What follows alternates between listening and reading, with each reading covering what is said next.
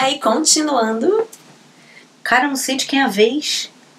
De quem é a vez agora? Acho que é a sua, não? Ah, não, sou eu, é. A, Hum. gente, tava, a gente tava falando mal do Crepúsculo, acho que é. Não, da Não, Carla Pérez. Baiana. Maravilhosa. Carla Pérez. Nada contra ninguém, gente, tá? Não é nada pessoal, não. Ela dança Não, não. pra caramba. A Carla Pérez dança muito, Não ninguém é? dança como ela. Gente, se eu tentar fazer aquilo com o meu quadril, eu vou pro hospital com fraturas Mas a múltiplas. Carla Pérez o talento dela é aquilo, mas ela não é atriz. Com certeza ela sabe que ela não é atriz, tanto que ela não perseguiu a função. Não, esse perseguir isso não dá. Não, gente, todo mundo pode melhorar, porque, né? Todo mundo é. pode melhorar. Eu É, sou uma pessoa Ricardo- que tem esperança. É o não, Ricardo Mack. não, esse não. Esse não. Acabou de dizer que tinha esperança. Não, mas tu tem exceções. É.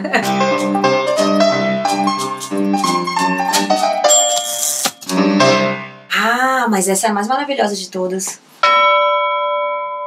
Cinderela Baiana, gente. Todas as cenas são muito perfeitas. Todas, todas. Tem uma que ela tá andando. Não, explica primeiro o que é Cinderela Baiana, que eu outro dia também não sabia. Ah, Cinderela Baiana é um clássico do cinema brasileiro que é feito com a Carla Pérez. Maravilhosa.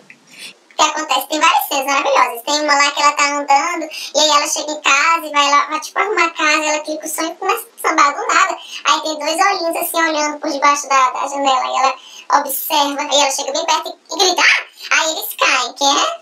Lázaro Ramos. Coitado! Coitado!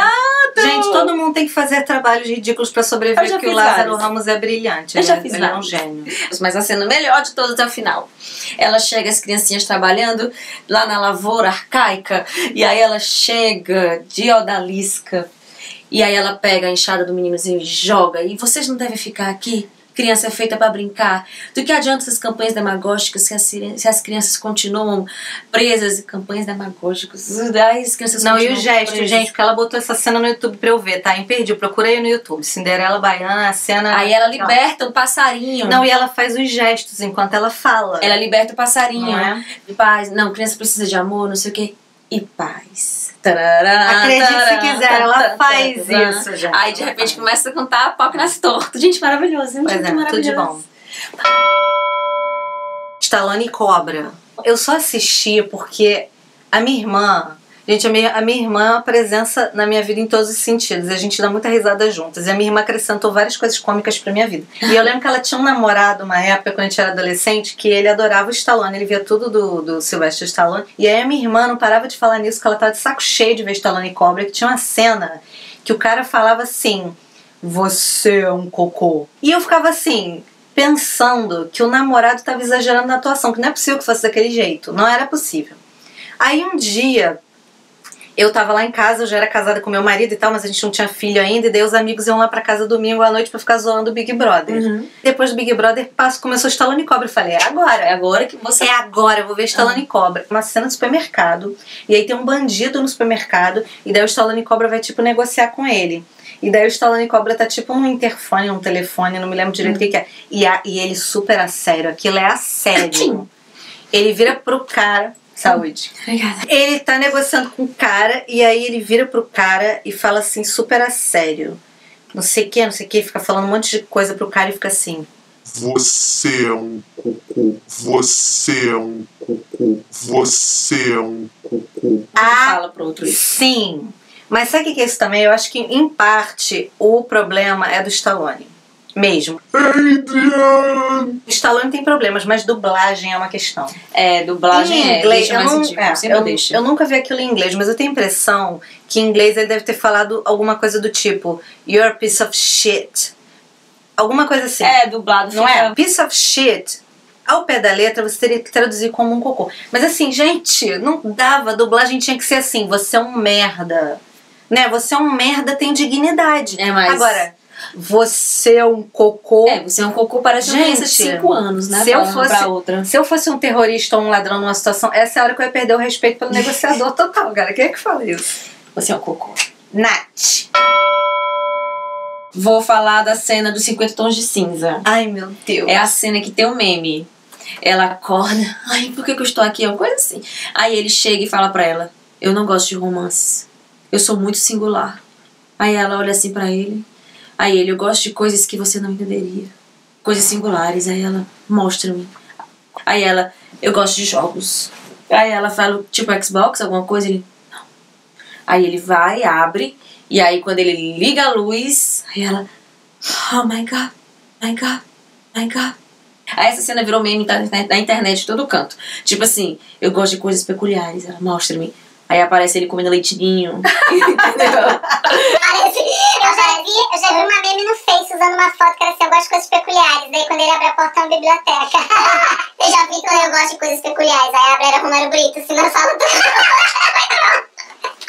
Vai sair agora o, o 50 tons de cinza, porque né, não já bastasse esse, vai ser agora a versão dele. dois. A versão dele com o Tamano, porque foi ela, né? Agora a versão dele, porque ele gosta de controle. Última cena ridícula do programa. Já vi que vem coisa boa, gente. Ela dá uma pausa dramática. Não, gente, eu não lembro mais nenhuma. Chega. Peraí. Ah, fala sério. Não lembro. Como assim não lembra? Aqui, mas não tá aqui, tá entendendo? Peraí. Olha na sua cola. Não tem mais, Flávio. Eu só anotei só quatro. Gente, a Nath é muito boazinha. Se vocês me derem 10 minutos aqui, eu vou listar 100 cenas ridículas porque eu sou cruel. eu te dou uma, faz. Ela vai me dar um. Ai, gente. Ahn, então tá, vou roubar uma dela. Acabei de lembrar uma aqui, que é quem vai ficar com o Mary. Eu tava lembrando de uma outra cena É a cena do, ridícula. do, do que ela tá aqui A presa? cena, não, a cena que ele passa Ai, que nojo, esperma eu no sei, cabelo. Gente, tem uma cena que o cara vai sair com a Cameron Diaz, ele tá sonhando com a Cameron lembrei Diaz também. desde sempre. Ele tá a vida inteira fantasiando sair com aquela mulher. E daí um amigo dele fala assim: não, olha só. é, dá um, é, bate umazinha no banheiro antes de encontrar com a mulher, porque ela é muito poderosa e você não quer passar vexame rápido demais se você chegar a transar com ela. Tá, aí o cara vai pro banheiro se masturbar e daí o esperma dele voa pro ar e vai na cabeça. E daí nisso toca a campainha, vai pra, pra, vai assim pro rosto dele, fica meio pendurado. E aí toca a campainha é ela. E aí ele vai atender, não se dando conta que o esperma dele está pendurado no rosto. Gente, sério.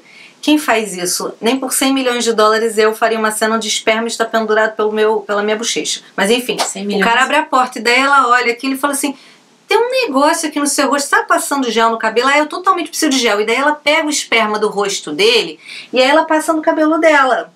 Isso já seria ridículo o suficiente, mas não satisfeito com o ridículo da situação, o troço, ela fica com o cabelo assim pra cima duro. E aí corta pra cena onde ela tá num bar com ele, com o cabelo assim, uma onda inteira pra cima, assim, duro, espetado, e ele horrorizado, olhando pra ela, mega constrangido, porque ele sabe que aquilo não é gel, aquilo é o esperma dele. Esse tipo de comédiazinha que tem que colocar essas Gente, coisinhas assim. atores não nasceram pra passar por essas humilhações públicas. Mas cara. ela tava ganhando bem pra isso. Ah, não, mas eu discordo, gente. Não tem dinheiro que pague. Na minha opinião, não tem dinheiro que pague. Você nunca vai ver Fernanda Montenegro nessas Não, situações claro, ridículas. Claro, claro. Mas bem Stiller, né? Sabe que tipo de comédia deles, entendeu? É essa. Pra quê, né? A mas a Cameron Sandler- Diaz é tão maravilhosa. A dançando. Por quê? Mas ela também já fez, ela fez muitas Ela fez coisas ridículas, mas assim, me dá uma pena. Ela devia fazer sempre filmes da categoria do casamento do meu melhor amigo. Filha, não, é bem estilo. E a Dan Sandler, você sabe que o Adam Sandler até tá dando melhorada, assim. Um beijo pra minha amiga Ana Negreiros, que ama a Ana Sandler, só que não. Pois é. Ela ama, ama, ama. Pois é. Gente, hashtag ridículos também amam. É, por hoje é só, né? Ridículo faz parte da vida. Nem sempre deveria fazer, mas acontece. Mande aí nos comentários a sua lista de cenas ridículas, né? Se vocês mandarem muitas cenas bacanas de ridículo mesmo, depois a gente faz um outro Uma parte programa 2. sobre isso. Ah, boa, né? Eu Dê lembro suas mais. sugestões. Isso. Tchau. Vamos pra chuva agora. Ai, Vamos pro frio. ai.